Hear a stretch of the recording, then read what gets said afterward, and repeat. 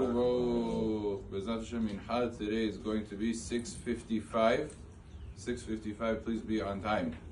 The halacha says that when a person does bidikat hametz on the night before Pesach, he has to say a beracha before he does the bidikah. Now, the most typical uh, conceptualization, what should be the bracha? You're doing bidikah, that's the mitzvah. You should say Baruch Ata Hashem, Asher Kiddisham Tzivanu, al bidikat hametz. But that's not the halacha. The halacha says you don't say al bidikat hametz. Say al biur hametz. Bidika means to check. Biur means to get rid of the hametz.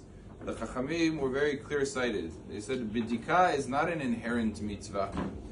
The reason to do a bidika is to get rid of the hametz. So keep your eye on the ball. You got to keep focused. What's your mitzvah? What are you actually trying to do? You're trying to get rid of the chametz. So therefore, that's the mitzvah. Al biur chametz. The checking is a process of getting rid of, and therefore that's why the bracha was instituted. Asher kiddishanu al biur chametz. That's the bracha that you say. Once you say the bracha, you have to immediately start checking. If you get in a interrupt with other things, you might have to go back and say the bracha again. If you interrupted with things that weren't connected to the bidikah, you picked up a phone call or something like that, you're going to have to say the bracha again.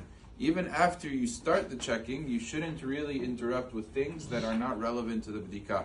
Because there's still opinions that hold that it's called a hefsek.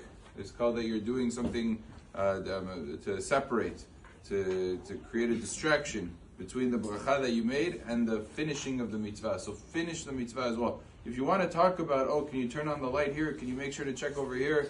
Things that are relevant to the bdikah, after you already started a little bit of the checking, you could talk about things that are relevant to the bdikah. Can you get me another candle? These things are mutar.